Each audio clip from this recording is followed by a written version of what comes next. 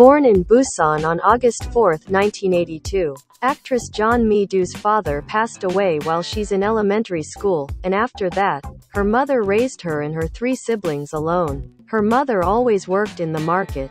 Moreover, Jeon Mi-do is said to have been terribly lonely as a child, as she was more than 10 years younger than her older brothers.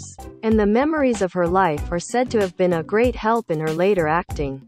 She is 41 years old and married with no child yet. Jeon Mi-do said she first met her husband through a blind date during the musical Bungee Jump in 2013, and after that, Jeon Mi-do officially decided to get married just two months after meeting.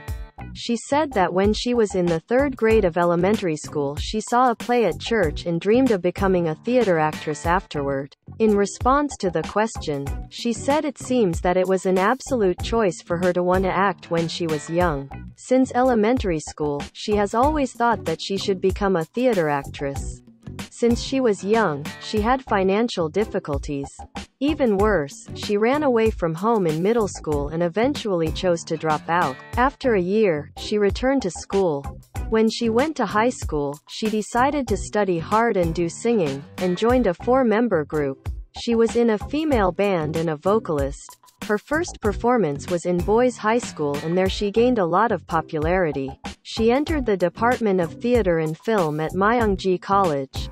She's very satisfied with her college life. She's cramming all night practicing even though no one asked her to do it. She said she never felt tired from practicing and working for it gave her so much pleasure and fun. In 2006, she made her debut in the musical, Mr. Mouse, while attending college. After that, it attracted many people's attention to winning the award for Agnes of God. Not only that she playing musical but also theater plays. She performed in the play Cherry Blossom Garden and Romeo and Juliet, and many various works and won the Best Actress Award at the 2018 Korea Musical Awards for two years in a row. She never stops challenging herself, until she got a role in the drama, Mother, in 2018 for the first time. Jeon Mi-do's first lead role is in the drama Hospital Playlist.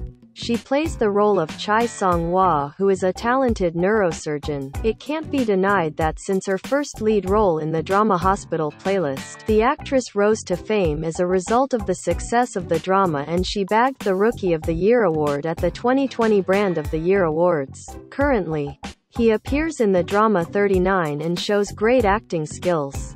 We're looking forward for her more projects in the future as she said she would act happily until she reach 80.